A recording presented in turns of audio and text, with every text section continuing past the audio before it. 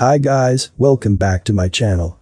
I included this product links in the description to find the most up-to-date pricing. Stay tuned and let's get into the video.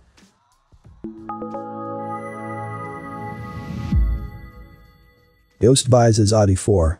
What separates the Yost Vises ADI-4 from the rest of the competition is its ease of use and swivel base. Indeed, this model has a 360 degree swivel base, which makes it incredibly practical when cutting or grinding material. Moreover, for more versatility, there is also an anvil at the back of this bench vise if you need to hammer your material. This model comes with a jaw size of 4 inches, which is adequate for casual clamping use. However, if you have bigger needs, then you can still purchase this model in different sizes, up to 8 inches jaw size. As a matter of fact, there are many things that we like about this model. The only issue we have with this bench vise is that it comes with a lot of grease out of the box.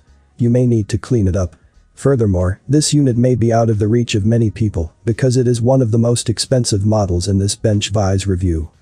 I have included this product link in the description. You can check out this link for more information and latest price.